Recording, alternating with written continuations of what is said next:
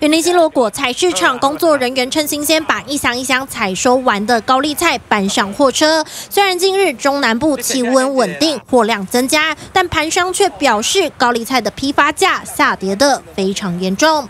栽种量过大了，所以导致说供过于求吧，加上外面的生意也都不好。盘商解释，因为货量增加，出现供过于求的情形，所以平均交易量也从每公斤的六十元跌到剩下六到七元左右。拢是一日来十五六栋、二十栋，拢徘徊在那个很稀少的的数量啦。啊，即嘛，逐工。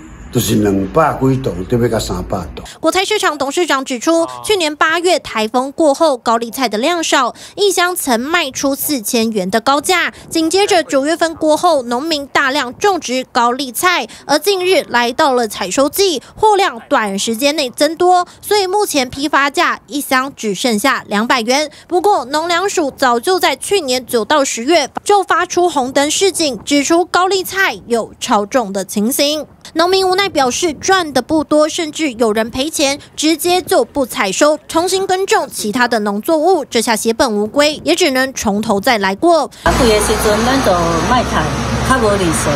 啊，今嘛小的时阵，咱就好人可以赚较济咧。另外，会大量使用高丽菜的姜母家业者指出，虽然目前店内的价格维持不变，但是会将高丽菜加量回馈给消费者，而其中一项成本变低，也让他们松了一口气。TVB 新闻张崇明、廖文云林采访报道。